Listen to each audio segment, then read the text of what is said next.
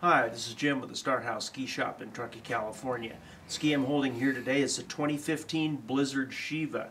This is a new ski for Blizzard. It's replacing a ski that they've had in their lineup called the Dakota for a couple of years. Now the Shiva is pretty different than the Dakota. It's a little narrower under the foot, but the biggest deal and the biggest difference here is that the, the Dakota was a flat cambered ski that was relatively stiff. The Shiva is a cambered ski from here down and has a pretty sharp tip rise and a pretty sharp tail rise. So there's a lot of rocker on this ski. Now I skied this last week and our tester Allison skied these today at Squaw. We talked about it after she got in and we're both pretty much in agreement that this is a much friendlier ski than the Dakota was.